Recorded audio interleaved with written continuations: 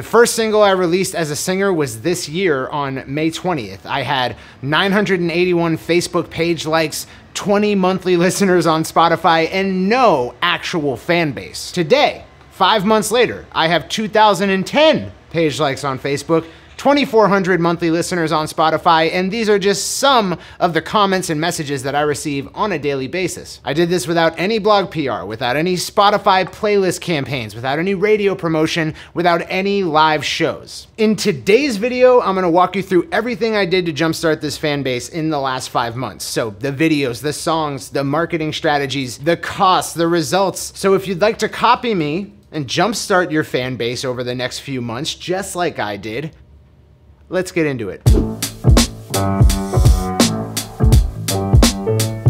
I kicked off my music career reboot with a video ad campaign on Facebook for my song Sacrifice. The ad was for a live performance video of the song, so no fancy camera moves, no crazy settings or lighting, no cool graphics, except for the lyrics of the song, which I, I had to caption. And the song itself was written and somewhat produced, but it definitely wasn't finished yet. So if people wanted to listen to it, aside from that video, they couldn't. There was nowhere for them to listen to it. Now at that time, I had a music video edited and ready to put out along with a finished single. And that music video for my song County Graves had all this behind the scenes content. So you might ask, why would you spend a marketing budget on a song people couldn't even listen to? I had a finished, Great looking, cinematic music video, shot and edited. I had a fully mixed song. Why did I lead with this less polished live performance for a song that wasn't even done yet? For those watching this who have already taken our Fan Finder training, you already know the answer to these questions. But if you haven't taken it yet, I highly recommend that you do, and I'll, I'll put a link in the description of this video for you to check it out. The reason that I went with the lower budget, unfinished song live performance video is that marketing is a process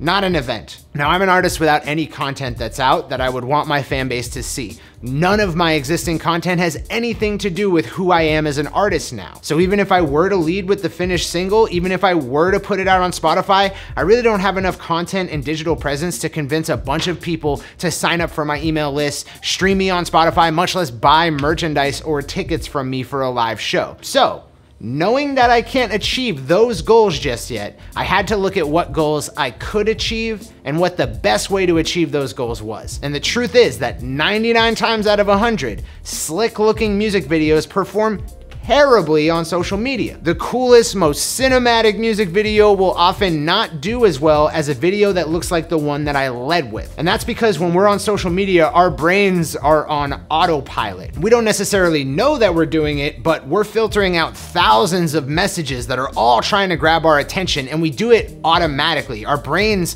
are like this powerful filter that just blocks out anything we don't need to pay attention to. And when we see something in our social feed that is both from someone we don't know know and highly produced and really good looking, dead giveaway. It's an ad. You don't even think about it. You don't even look at it. And that's because the types of content our friends share that our network cares about has two common properties. It's either A, shared by a friend or a familiar page, or B, it's candid. So think about the types of things that go viral in your social network and ask yourself, is it filmed with a big cinema camera or is it filmed with a cell phone? Does it involve a script or is it ad hoc? Is it candid? Is it in the moment? Does it feature multiple cuts and transitions or is it one long continuous shot? Most viral videos are shaky cell phone recordings or moving images with a voiceover or a single gliding camera capturing an unbroken moment. Most viral videos do not look like music videos and most music videos do not go viral. Key example, this is Ted Yoder. He did a cover of Tears for Fears on his Hammer dulcimer in his backyard. Someone in his family recorded it on a cell phone and it got over 400 million views. This is Walmart Yodel Kid.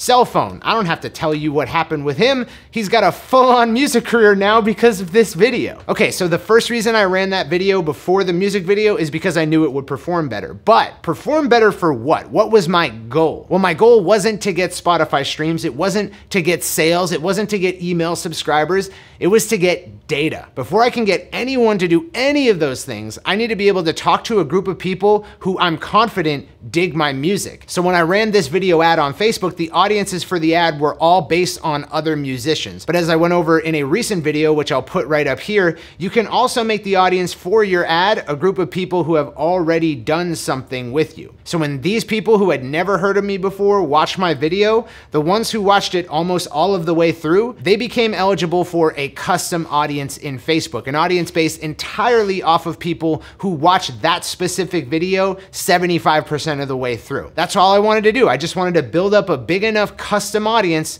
to be able to run ads to people who actually liked my artwork. That's goal number one. Goal number two was to get at least a thousand people in that custom audience and build a lookalike audience. The custom audience, 75% viewers of this video, they've already heard of me. They know now who I am, but they also share commonalities between each other that make them the right type of people for my music. I can't see what those commonalities are. I can't look at that data. That would be a, a, major privacy violation. I don't know what it is about these thousand people that makes them like my music so much, but Facebook does. A lookalike audience is an audience made up of people who are most similar to a custom audience. So when I build a lookalike audience based on my custom audience of 75% viewers of this video, I'm getting an audience of people who haven't heard of me yet, but who are very similar to the people who did actually like my song. I know they are very likely to enjoy my music. So first I spent $39 testing five different headlines for my ad. And the headline that performed best was this one. I wanted to write a song about how chewing ice has ruined my teeth, but then, and then dot, dot, dot. So you wanna figure out out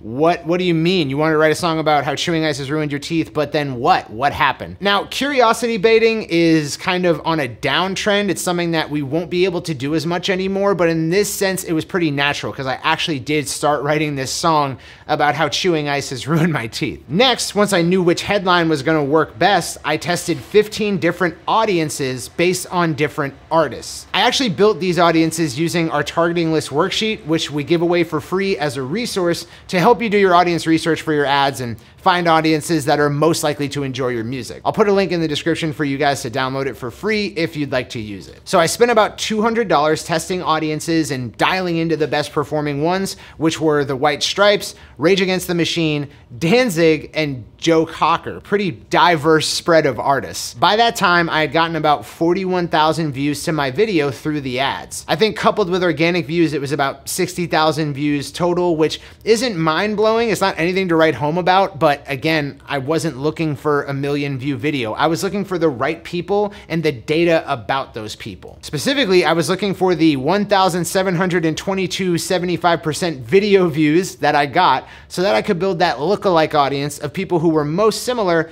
to the real fans, the people who watched my video all the way through, the people who liked it so much. When I built the lookalike, my best performing audience was the White Stripes. It cost me about 10 cents to get a 75% viewer from that audience. That's what I was buying them at. Out the gate, my lookalike dropped that down to 7 cents. So I was purchasing basically a listener, a real listener, somebody who wants to see more music from me for about 7 cents a pop, which if you think about it, that pretty much blows any other method of promotion out of the water, right? Like I've spent $3,000 on huge blog PR campaigns that got maybe 100 real fans. That's $30 a fan. The craziest part is that with any other method, following up with the fans you create is almost impossible. But with this, I can serve an ad for like $10 and reach every single one of the listeners that I created during this initial test run. So I ran that video campaign in May and just kept it running at about $100 a month, running on autopilot, creating new fans for me. Costs are still right there at about 7 cents per 75% video viewer. So they haven't gone up. And to date, we've created about 11,400 475% video viewers for that specific video. And I was also able to gain over a thousand page likes on my Facebook page by using this Chrome extension, invite all post likers to like page. I just go to my ad, I click on the likes to open up this window, and then I click on the extension and it automatically invites everybody to like my page. Pretty cool. Now, just to be clear, that means I have an audience of 11,400 people who I know have all watched my nearly four minute video 75% of the way through. That's three full minutes of watch time for 11,000 people. Next, I rolled out the music video that I had that we talked about earlier, and I ran the same process on it. The lowest I was ever able to get my 75% views for that video was about 14 cents, and that's even with lookalikes, which is what I expected. It wasn't as well suited for the goal of creating my initial data set, my initial fan base, as the other video, the first one I ran. But what it did do is allow me to release behind the scenes content about that video shoot, about the song, and point my existing fans to not only that content,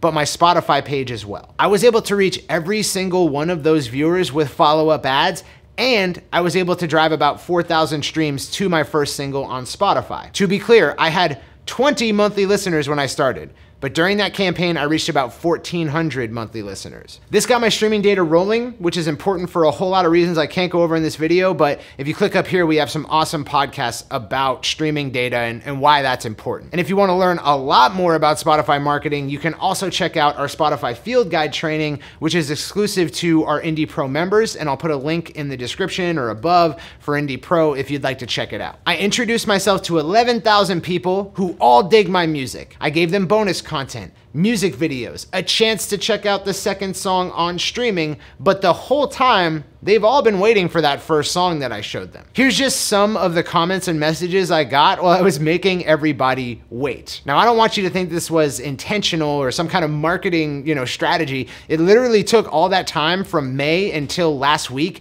to get the song finished. And if I had it sooner, I probably would have released it sooner, but I digress. It still worked out. It was now time to drop that track on Spotify and push everybody to it. First, I wrote down all of the artist-based audiences that perform best for me in my Facebook campaign. So those were Rage Against the Machine, White Stripes, and Black Keys. Then I went to developers.spotify.com, which is Spotify's developer console. And this basically lets you see all types of data in Spotify that you normally can't see. I entered the Spotify URI in for all these artists one by one, so I could see what genres Spotify had associated with those artist profiles. Then I uploaded the single 14 days before the release to DistroKid, giving it seven days to get on Spotify and an additional seven days to submit the song. So once DistroKid had put the song on Spotify ready for release, I went to my Spotify for Artists dashboard, went to music, upcoming, and then clicked submit song. Then I filled out the application using the common genres from my research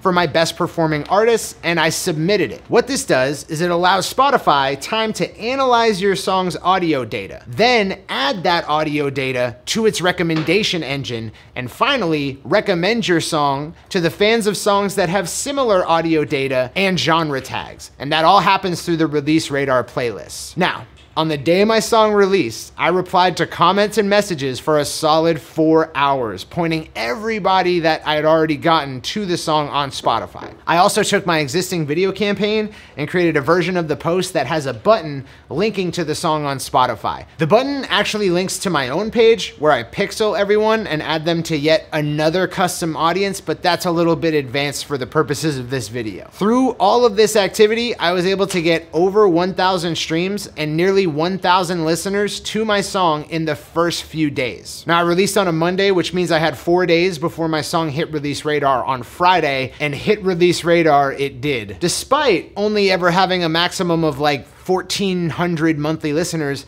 my release radar distribution amounted to 1,700 listeners and climbing. From those listeners, I've had about 2,500 streams, meaning that about 75% of my listeners streamed the song twice. Because my genre tags and my audio data were exactly suited for the artists whose fans really respond to my music, Spotify was able to recommend my music to the exact right type of listener. But that's not the only cool thing. Before the song even hit release radar, I was able to drive tons of streaming data to Spotify from the exact right type of listener. And this reinforces the recommendations that Spotify makes and gives them even more of a chance to recommend me to people who will actually love my music. Five months ago, I did not have a fan base. I did not have content. Nobody was asking for my music. Nobody was messaging me. Today, I'll receive dozens of comments and messages from real fans around the world who love what I'm putting out and I'm just getting started. My budget for this five month phase was $300 per month, and in total, I spent about $1,900. But about $600 of that money I spent testing new strategies that haven't yet been proven, just new ideas I'm working through. So the same result, everything I just described, could have been achieved for me for about $1,300 or about $260 per month, which for a monthly marketing budget is nothing. It's nothing. Furthermore, my video ad was nothing to write home about in terms of performance. I've seen video ads get down to one one hundredth of a cent. So being able to purchase 75% viewers at seven cents isn't the best that it could possibly be. I've seen campaigns that perform down at five cents per 75% viewer, which would have dropped my cost significantly. My next challenge is to prepare a solid bundle of singles to culminate into a full debut release, and during that time, create a system of ads and web pages and video content that can help me build my email list. Now, I promise to share with you every step of the journey. So, if you like this video, if it was helpful, and you wanna follow along through all my mistakes and my lessons and my cheering successes, just like this video and subscribe to the channel and you will not miss a thing. Oh, and if you do click subscribe, the red button right, right down here or here, I'll see you in the next video. Peace out.